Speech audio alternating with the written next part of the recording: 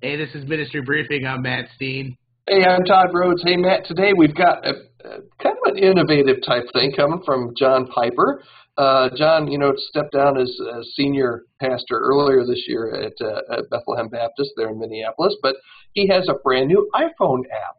It's really? called yes, it's called Ask Pastor John, and uh, he's doing five different episodes every weekday or five they're five minutes long, once a day, every weekday. So about five a day, or five. Oh boy, I am really confused. Pastor John, can you help me with my confusion? We know you're watching. Uh, uh, but it's it's an app where people can ask questions to John Piper, and he will he will take uh, your questions and give an answer to them. I, I don't know. What do you think about this, Matt? Is this good use of John's time? I guess we know what he's doing uh, now that he's kind of semi-retired, huh? Yeah, I, I here's here's what I'm wondering. Uh oh. Five minutes once a day. Uh huh. This sounds strangely familiar. I think he's. I think he stole our idea. I think so too. I think we need to fire up the crack ministry briefing legal team and track down John Piper. Send off a cease and desist. I, I think we might have to. Hey, here's a question for you. Hey, Pastor John, why do you steal other people's ideas? Yeah. Yeah.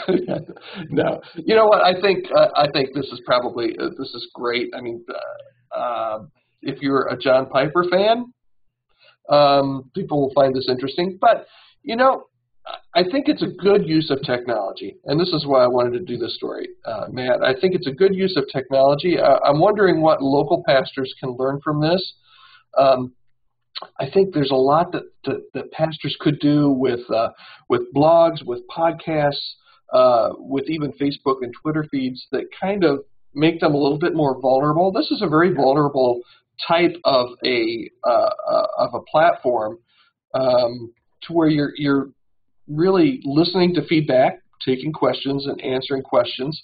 It's endearing to the audience. It helps people really uh, feel like they know the person a little bit better. Yeah. Uh, so I think it's I think it's a great move. Actually, I'd like to see more pastors and more churches do this type of thing, and I think it's cool. Not that it's just that it's not just a website, but it's also an app that people can can view on their phone. I know we've seen uh, almost a third of the views um, here on Ministry Briefing are being taken place on uh, on mobile phones and tablets and uh, mobile devices. So I think it's a great move. Hats off to Pastor John Piper.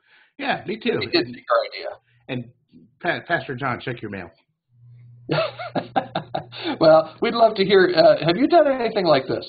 Uh, kind of innovative with an app. Uh, you know, a lot of the church apps that I see out there are just kind of cookie cutter things. Are you doing anything that's kind of out of the ordinary that we should look at? Maybe maybe do a ministry briefing on. That'd be awesome. Uh, leave a comment down in the comment section. Also, check out our new ministry briefing just released uh, for this month, and you can find that at ministrybriefing.tv slash YouTube.